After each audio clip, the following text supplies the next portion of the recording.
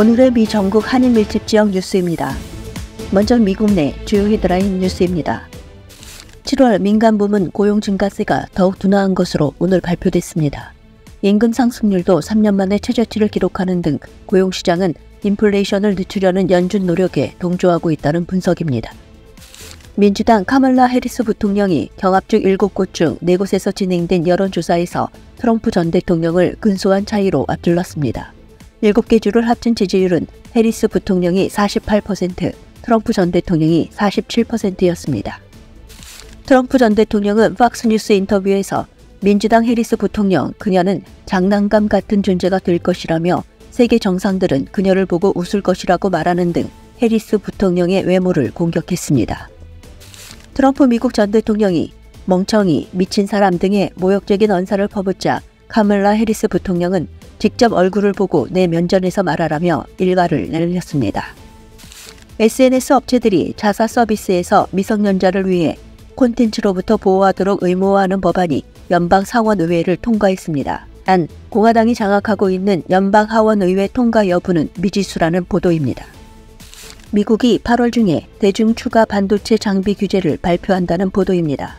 새 규정에서 일본과 네덜란드, 한국 등 30개국 이상의 동맹국은 예외로 분류해 미국이 중국 반도체 산업을 계속 압박하면서도 동맹국을 적대시하지 않으려는 입장을 보일 것이라는 보도입니다. 미국 반도체 기업 인텔이 비용 절감을 위해 추가 정리 해고에 나섰습니다.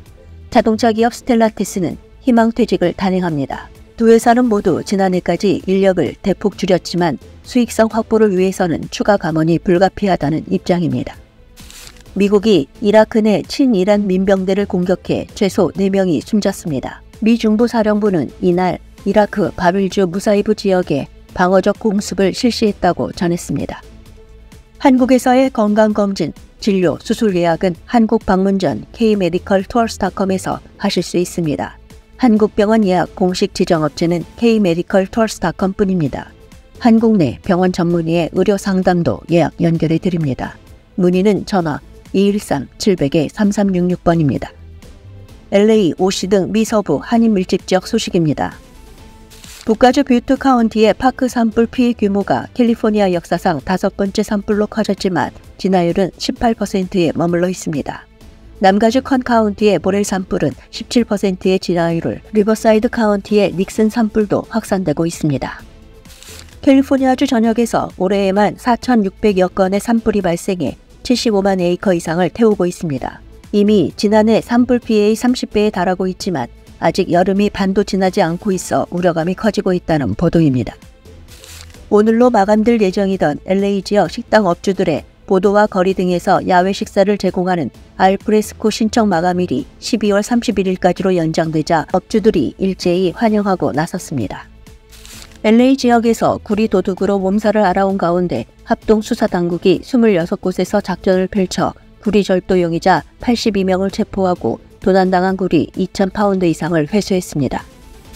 LA 경찰국 LAPD 소속 경관이 교통법규를 위반한 흑인 남성에게 소갑을 채우던 중 반항을 한다는 이유로 주먹을 날리는 동영상이 확산되면서 흑인 사회에 공분을 사고 있습니다.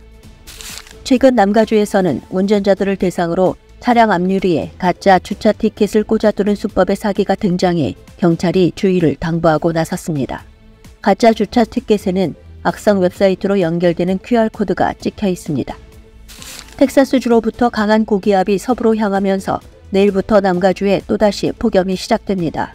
무더위와 산불로 인한 공기 오염이 심각해지면서 되도록이면 야외 활동을 피할 것이 권고됐습니다. 한국 방문 시 꼭 필요한 휴대전화 심카드로 한국에서 무제한 데이터와 통화를 30일간 사용할 수 있습니다. kshopinUSA.com에서 확인하시기 바랍니다. 판매 전 문의도 받고 있습니다. 전화 213-536-9001번으로 문의하시기 바랍니다. 뉴욕, 뉴저지 등 미 동부 한인 밀집 지역 소식입니다. 올 상반기 뉴욕시에서 발생한 살인사건은 코로나19 팬데믹 이전과 비교해 20%가량 많은 것으로 집계됐습니다. 하지만 올해 상반기 살인 사건은 30건으로 전년 38건 대비 21% 감소했습니다.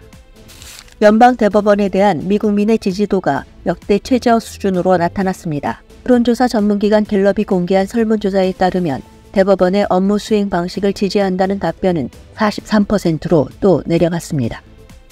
뉴욕주가 다음 주부터 주내 저소득층 및 중산층 100만여 가정에 자녀 한 명당 최대 330달러의 양육비를 추가로 제공합니다. 수혜 대상은 2023년도 세금 보고를 통해 부부 공동 세금 보고 경우 연소득이 11만 달러 이하, 개인 세금 보고 경우 연소득이 7만 5천 달러 이하가 대상입니다. 샌프란시스코, 시애틀 등 이밖에 미국 내 한인 밀집 지역 소식입니다. 콜로라도주 덴버에서 한국인 아내와 딸을 살해한 백인 남편 레지스 대학의 영문학 부교수인 니콜라스 마이클 버스트가 1급 살인 혐의로 체포됐습니다.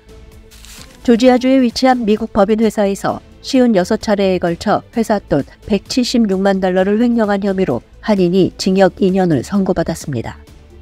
잇단 항공기 사고로 어려움을 겪은 미 보잉이 지난 2분기 14억 달러가 넘는 손실을 기록한 가운데 다음 주 데이브 칼훈 CEO 후임에 로버트 켈리 오트버그가 보잉의 새 CEO로 취임할 것이라고 보잉사가 밝혔습니다.